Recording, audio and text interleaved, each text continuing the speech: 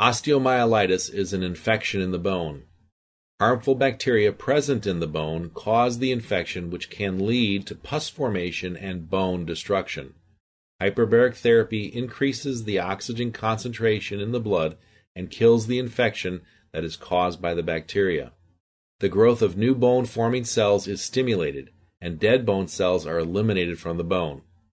Antibiotics are more effective due to the formation of new blood vessels, leading to rapid healing of this condition.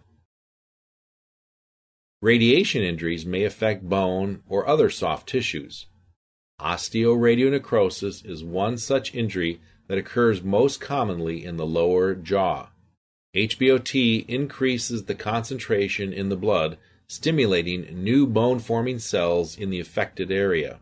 It also stimulates the stem cells, which are the body's master cells that have the ability to form different cells to help heal this condition.